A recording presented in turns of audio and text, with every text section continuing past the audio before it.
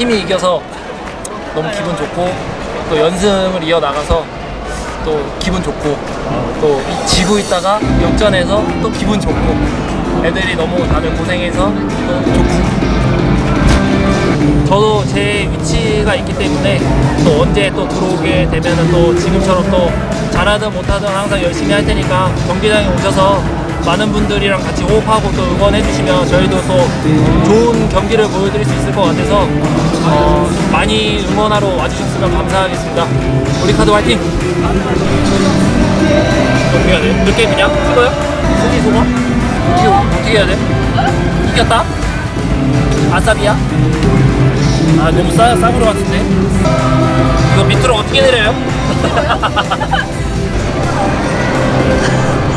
쓰세요. 아 나 너뭐 어떻게 써야 되냐?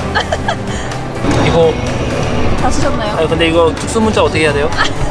확인 아 이거 내가 올리는 거였어? 네.